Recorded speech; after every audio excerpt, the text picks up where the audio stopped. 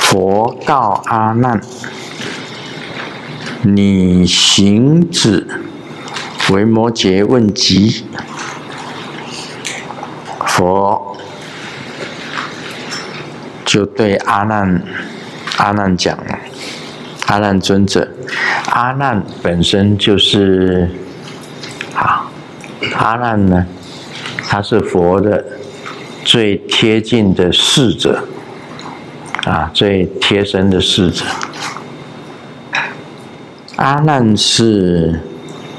按照讲起来，他是属于释迦牟尼佛的堂弟，释迦牟尼佛的堂弟，他也是一个王子哦，他是那个那时候好好多王子出家。很多王子，释迦牟尼佛出家以后，他得到了，然后有有八大王子也跟着他一起出家，阿难是其中的一个。阿难这个名字，就是他出生的时候啊，他叫他的阿难两个字的意思就是庆喜。庆，就出生的欢喜啊！啊，出生，出生的时候啊，他出生的时候刚好是释迦牟尼佛得道，那时候所以给他起名字叫阿难，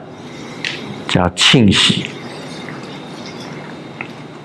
他是释释迦牟尼佛的侍者，也是他的堂弟。那么他是属于十大弟子当中的多闻第一，因为在释迦牟尼佛旁边当侍者，他听到的最多，所以叫做多闻多闻第一。他听到的佛法最多，听到的佛法是他是最多的，而且他是记忆最多的，